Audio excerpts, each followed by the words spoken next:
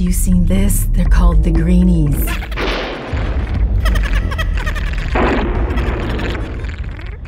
The most common time to get those greenies is during the nail fill. Super important to know how to prepare your nails before you fill them so you don't get the nasty greenies. I'm going to show you how to do that today. Let's get started.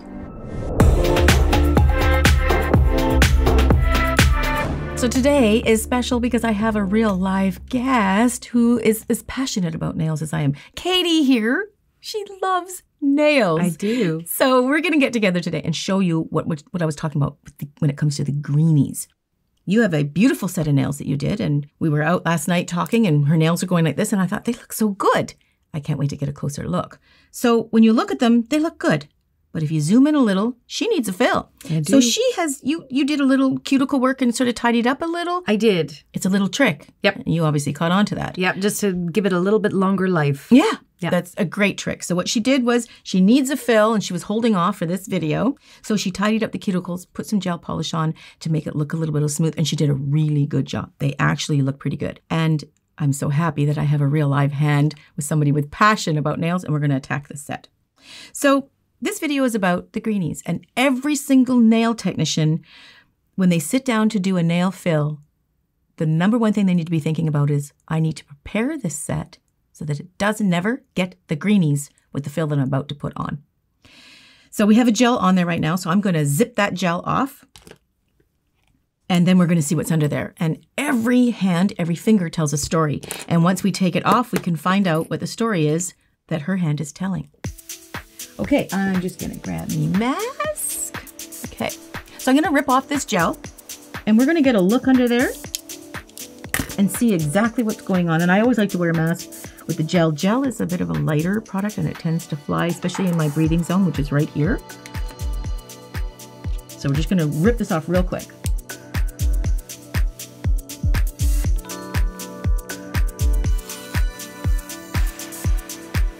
So Katie, how long have you been doing nails? Two years. Oh wow, okay, and where did you learn? Watching your videos. You did watch the I did. Okay, I watched all your videos. Wow. just as the pandemic was hitting, Okay. um, because we didn't really have a whole lot to do and where to go. Yep. So so you took it upon yourself? taught myself some Good for you. That's awesome. Had a bunch of fun doing it. Okay, that's fantastic. Well, that's how Katie and I met is through a mutual friend. She's a musician and she's the singer of my friend's band. And um, oh, well, I was hanging out with a friend and you were there visiting. I saw her nails and I thought, ooh, she loves nails. Let's let's join together this passion that we have. Okay, so I almost got all the gel off.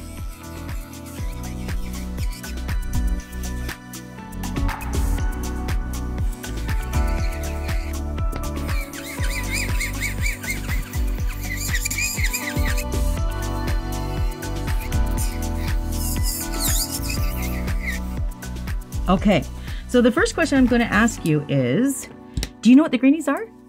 I do from watching Okay. your videos. Oh, Yeah, okay. I okay. do. Have you ever experienced or seen it? Once. Oh, you did? I okay. had one problem with it when, and it was actually on this nail that I had it. Um, Okay. so because this is my dominant hand, I do get Yeah. the most lifting on my pointer and my index finger there. Okay. Well, and I'll tell you why. It is the longest finger. hmm And also, too, uh, do you write with a pen every now and then? Yes, I do. Okay. So what happens is when you're writing with a pen, And put pressure. Yes. Oh. that I can see that a little. I could tell you wrote with a pen a little because there's a tiny little bump here. Yeah. And your pen leans against there, and at the same time, it leans, it pushes the whole finger. Right. So naturally, product won't bend with your finger or your No. nail. So your product will pop. And that's always where I get any lifting. Do you have a chronic lift right there? all Right the time? there. Okay. Yeah. Okay. And and under there, that's where I got the greenies. It's just under Oh, there. It was a tiny little bit. Okay. And I was really shocked and I went, oh, Yeah. Suzie talks about the Right. greenies. I got the greenies. Now, in all fairness, do you know when you got the greenie, was it an actual greenish color or was it just maybe debris? No, it was greeny brown. Okay. And I really had, I was sort of stuck to the natural nail. So I Okay. really had to file a little bit of the natural nail off so that it, it left. So you did come across it. Okay, so Yes. how that happens is this is why a nail fill is so crucially important in how you prepare it.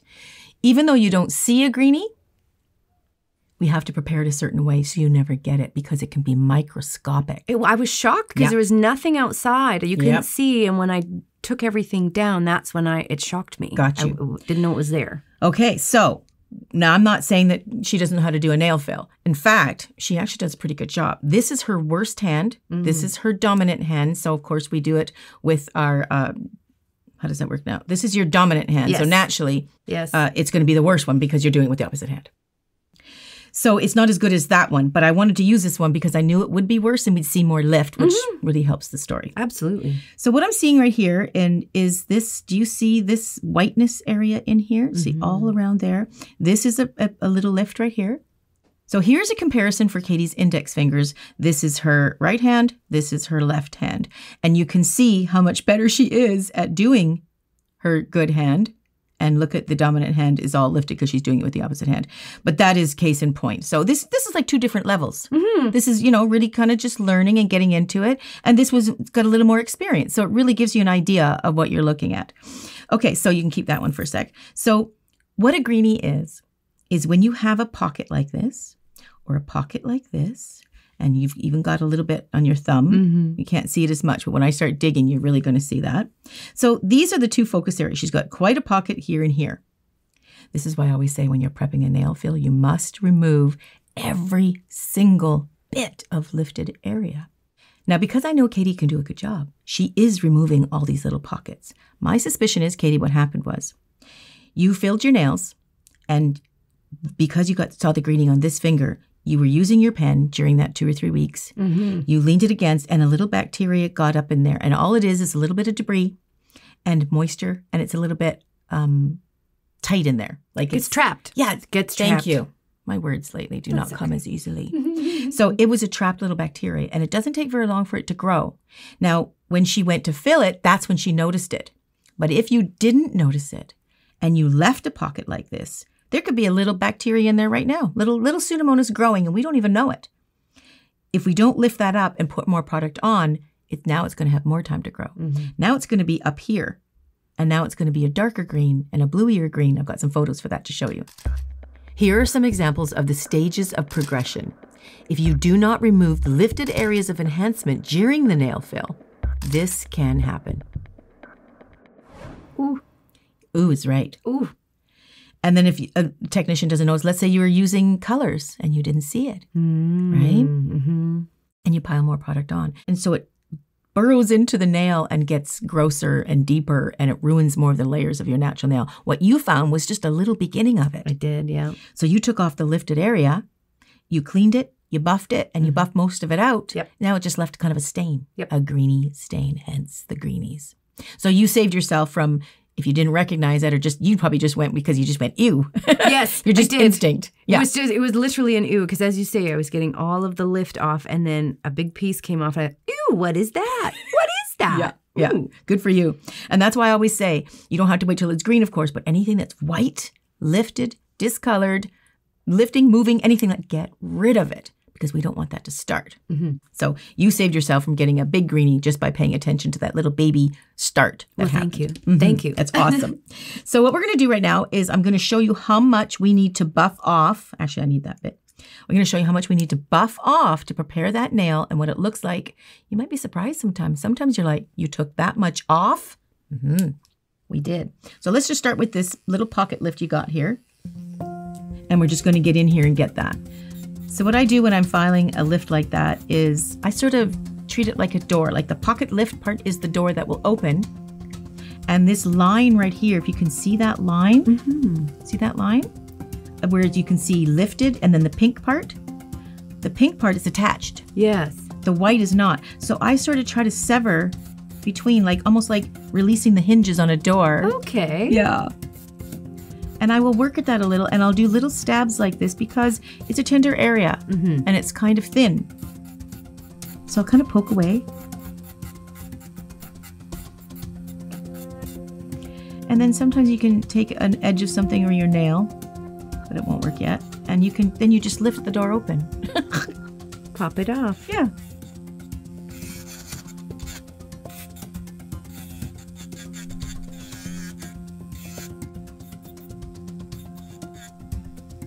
Okay, let me see if I can get my little. This is the only time I'll use nippers or anything is to help something come off, but I won't pry it. If it's giving me any resistance whatsoever, I won't do it. right? Okay. Because then maybe it's just not not lifted enough. So I'm just going to see if. Oh yeah, look at that. Look at that. See that little door? It's paper thin. Okay. There we go. It's very happy. Now I can tell that Katie's doing actually with your opposite hand, Katie, you did a pretty good job. Thank you. And the reason being is because when I took that little pocket lift, which is caused from your pen, Mhm. you don't have any around the other areas, Okay. right? Okay. Yeah. yeah. So that's really good. And showing that she did it diligently, you took it off because if you didn't take it off and pile more product on, I would see uh, a whitish area here and It maybe even the greenie in it if you got one in it, right? Okay. Mm-hmm. Greenie doesn't need much No. prompting. All it needs is a trapped, moist, dirty area to grow. Well, That's and oh, your hands are dirty and moist, Oh, your and hands are in everything. yeah, and always touching things. Exactly. And I'm not surprised that the index finger is not as happy because it's an index finger. Hmm. And they are hard to do. And this is my right hand. And this is her opposite hand. They're very hard to do. So okay, right now we're going to do the same thing. That little pocket that she's got right there. I'm just sort of finding the point where they're joined together and I'm just separating them. And when I'm doing this, I do it in little bursts again. And I will ask the client if it feels a little warm, just let me know. And then they can give me a little indication. But before they tell you, they usually kind of pull a little bit, just like pull away a little naturally. I would. can get hot. Yeah. And that's friction, right? Mm-hmm. The closer you can get to it, too, it gets a little pinker. Mm-hmm. That's because you're getting closer to the actual nail, than the actual natural nail, and you can see the blood supply, which is very healthy. Nothing wrong with that. Sometimes, if you want to go over the lifted part, depending on how thin it is, it can just flake right off as well. You can see it starting to flake. See that? Mm-hmm. I would never have left them this long, but I knew it was coming. Well, I told you, don't touch them. Don't touch them. She goes, I need to fail. I said, don't touch them. and she didn't touch them. That's great. So I I don't know if you noticed, but I didn't really push the cuticles back or anything because these are grown out a little bit and I just wanted to get at them. Look at this one. It's great. Look at that. That, that cuticles for the opposite hand, that's really good. Oh, I'm quite chuffed. Oh, yeah. No, that's really great. Good for you. I mean, I know you're teaching yourself and you're watching on YouTube and stuff, and it's so easy to just bring someone on here and just pick their work apart, which was our goal. It was sort of a, a critique, a, a nice, friendly, constructive critique. But let's not forget all the things that Katie did right. And I think I'm going to bring that up right now because it's pretty amazing, actually. If you ever give up music, she should do nails. Okay, so what she is doing right, I absolutely love. First of all, she has great harmony. You have great harmony Thank you. with all of your, yeah, music wise I'm a well. musician, so I'll take it. so the harmony in the nails is they're all very complementary to each other. You're keeping the same shape, the same length, and you are following virtually the third, third, and third rule. Is you've got a pretty nice long nail bed, and she's you cut that in half, and you go that much longer. They're a little longer, but she's grown into that. She's got natural nail underneath, which is giving her a ton of strength.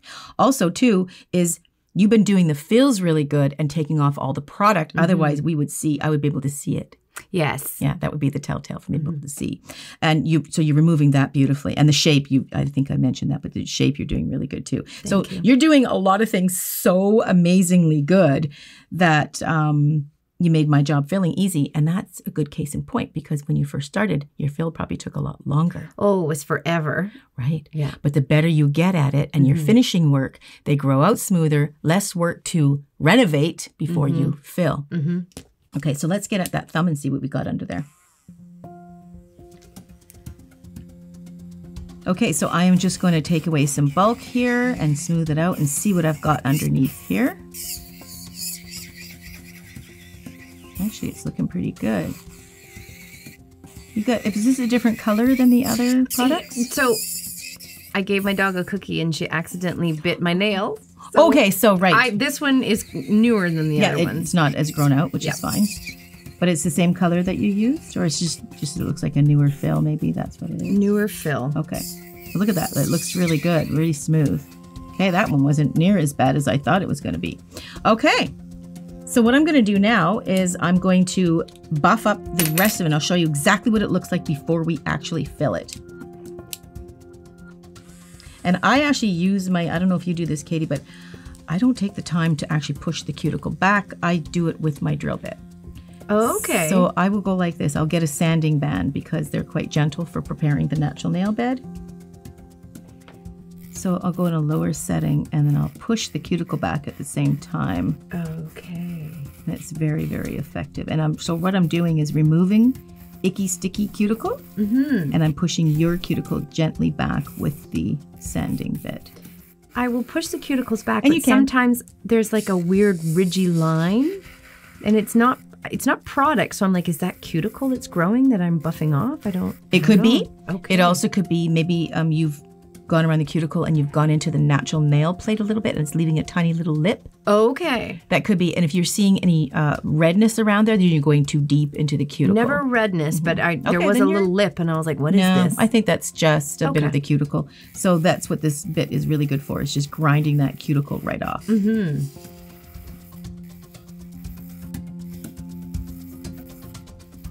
So, Katie, what kind of music do you sing, and where would I find you? You can find me on Spotify. What, is- I what would I you have, be called? Oh, Katie Campbell is my name. And I have three albums out and a few different singles. And I'll have another single out very soon.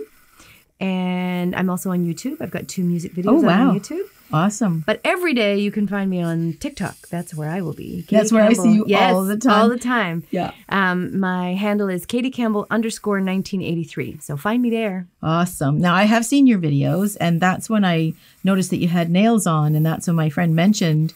I think I mentioned to him, and he goes, "Oh yeah, she does nails. She watches your videos." Yes, And I do. That's how we kind of, you know, kind of put two and two together, and that's when I got the idea. Oh, she loves nails. And when I talked to you, I realized how much I do. you love nails. I, mean, do. obviously music and your family first, Yes. but nails fall pretty close. but it's nice to have the nails and for your music videos and stuff because you're so front and center. Well, for me, it's more self care too. I've always liked nails. And as you know, if you want anything of any, how do I say that? Good nails cost money, just like good cake. I was a cake decorator for a few years. And if you want to have a nice looking decorated cake, you got to pay the money for it. And same with nails. Yeah. Um, but I work part time and I'm a musician. So, you know, the starving artist thing Yeah. Yeah. That's awesome. taught myself. So do you just always do your own nails or have you ever done anybody else's nails? I tried the first summer that I was doing this. So this is my what third summer doing nails, doing my own nails. And I tried the first summer, but nobody came back. Oh. I offered a couple of friends and nobody came back. So and it really doesn't matter to you so much because Not really. that's not really what you want to do. I mean, I would if anybody wanted them done. Well, and that's interesting. I mean, um, we can get into that another time, I suppose. But why didn't they come back? It could have been that they really only did it the one time just because they were It doing it with you and hanging Yeah, out. and hanging out. That could be it. That's fine. And that's sometimes how you can get a client. But that may be why they did it. But if you don't want to pursue it as, as you know, looking for clients, then it's probably really doesn't really matter too much. But it is important to know that doing yourself is quite different. It's very doing someone else. different. The angles and even how you hold the drill, it's all very, very different. Yeah, you're absolutely right. Okay, so this is, I just want to get a good look at this. Okay, so let's just quickly analyze what we've done and see if this is actually ready for a nail fill. Okay, so I have taken away, oh, there's one little thing right there. Let me see what that is. It's not, it's not going to make or break the nails. See that little tiny thing? It's not going to make or break. It's not going to cause a Just that little white fleck? Just that little, yeah. Because if we go to any type of clear nude, you might see it. I'm just going to take that off because me no likey. That's it. Not a big deal, just more aesthetic than anything. Okay, this hand is totally ready for a nail fill and completely greeny opportunity free. In other words, there's no chance that a greenie is going to happen once you finish filling this. If you left any of those little white pocket areas, you might. Not to say that you will. No. It's just it might might happen. Okay, Katie, so your nails are all now perfectly ready for a fill.